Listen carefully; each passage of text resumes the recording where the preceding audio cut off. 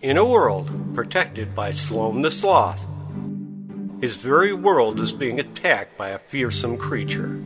If only there was someone, somewhere, that had something to help Sloan save the day. The legend of the mask tells the tale of Sloan's neighborhood in a different time. Being hunted by a very different animal, man.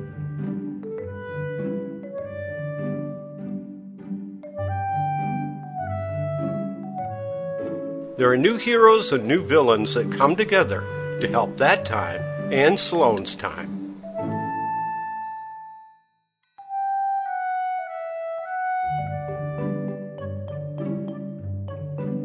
Join us for an all new Sloan the Sloth adventure.